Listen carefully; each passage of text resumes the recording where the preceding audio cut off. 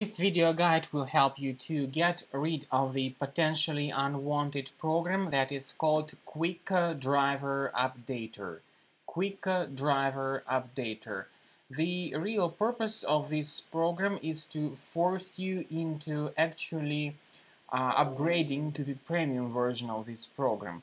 And the point is that this particular software is uh, often uh, spread uh, through bundling with some free applications and very often people download and install a quick driver updater pretty unintentionally. So that's the re reason why it is correctly classified as a potentially unwanted application. Of course, uh, it is wrong to speak of quick driver updater as a virus. It is not a virus, it is not a malware, but sometimes it may appear in your Windows computer without your intention to see it uh, in your device.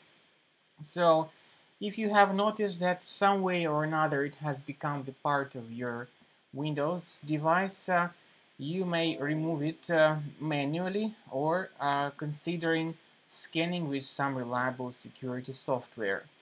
Now, how to remove Quick Driver Updater manually? Go to the control panel of your Windows uh, computer, then select uh, uninstall a program. You need to find this Quick Driver Updater, right click on it and choose the option to uninstall.